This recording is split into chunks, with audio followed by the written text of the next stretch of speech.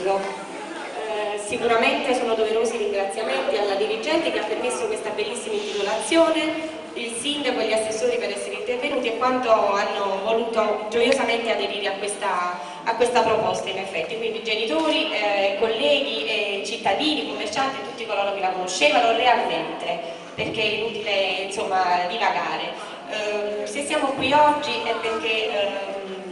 sono prevalse di, di Paola le sue doti eccellenti, soprattutto la sua cultura e la sua grande responsabilità nella scuola. Voglio ricordare che è una maestra e un'educatrice e noi chi l'ha capita ha riconosciuto questo, un'educatrice e prima di tutto una persona assolutamente responsabile della benissima formazione della crescita di, dei bambini di scuola elementare e quindi Paola era proprio questo e noi se siamo qui a ricordarla a due giorni dal suo 65 compleanno è proprio per questo. Vogliamo farle un regalo come forse ne ha avuto, ne ha avuti pochi nella sua vita. E questo credo sia il più bel regalo che possiamo fare il sorriso di